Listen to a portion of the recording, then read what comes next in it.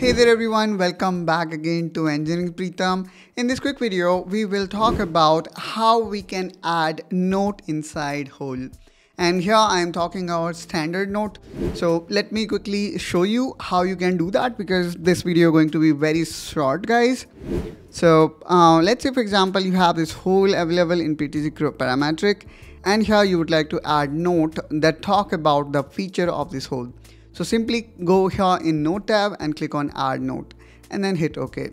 And there we go guys, here we can see this annotation is now being added to this hole and these notes are actually very helpful when we do drafting.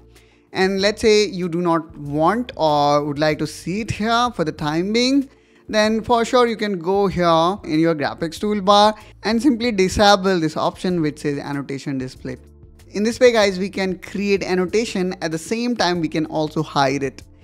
That's all guys from my side in this quick video. I hope that you find this video helpful and informational. If yes then do like and subscribe to Engineering Pritam to follow complete PTC Creo parametric series and I will catch you soon with one such another video. Till then you take care and bye bye.